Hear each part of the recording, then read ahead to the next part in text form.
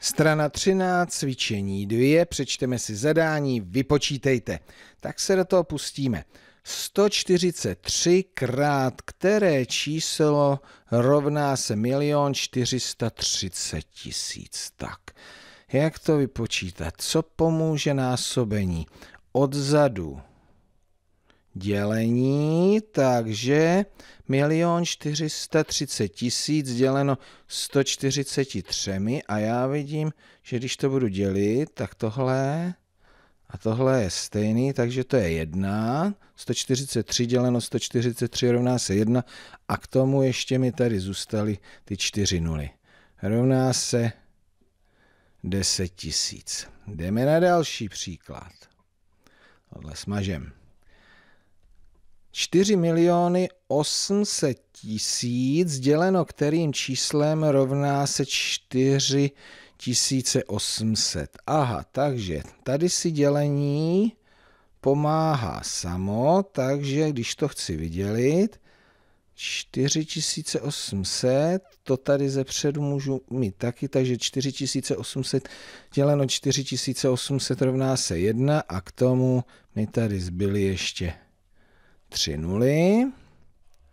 Tak zase jakhle smažu, teď jsem toho tady smazal trochu moc. 5 tisíckrát, které číslo rovná se 5 milionů. Tak, zase takhle zezadu si pomůže dělení. Tady vidím 5 tisíc, takže to bude 1 a 3 nuly tisíc. Tak, to byla taková moje ukázka a vy se puste do B a do C. Tak prosím, přerušte video, za chvíli porovnáme řešení.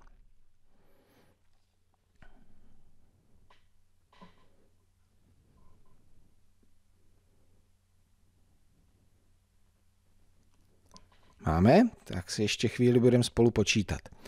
Kterým číslem vynásobíme 10 tisíc, abychom dostali 42 milionů. Takže to se pomůže takhle dělením. Tady vidím 1, 2, 3, 4 nuly, 1, 2, 3, 4 nuly pryč, 4200.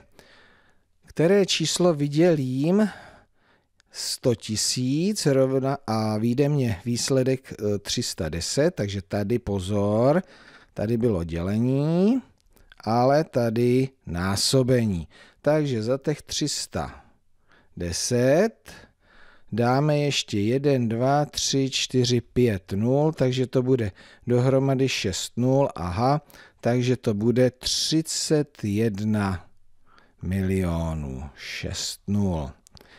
Tak a teďka, kterým číslem vydělím tisícovku, abych dostal milion, tak to musím zase pomoci násobení a to bude číslo, které bude mít Jujda 9 0, takže to je jasná 1 miliarda. Tak a teď už se podíváme opravdu na řešení. Tady to vygumujeme a porovnáme řešení. Ano, ano, ano, tady taky, taky, tady i ta miliarda. Tak a v C jste doplnili jedničku v prvním příkladu, v druhém stovku a ve třetím tisícovku. A když jste chtěli to mít opravdu elegantně, tak jste to mohli počítat i jako rovnice. Tak třeba tady. 6320 děleno místo té mezery, děleno lepší, neznámá x rovná se 6320, x rovná se, rovná se pěkně podrovná se, tady víte, že si, že si dělení takhle pomáhá samo, takže 6320 děleno 6320, to je 1, x se rovná 1. Mohli jste to vyřešit takhle elegantně jako rovnice.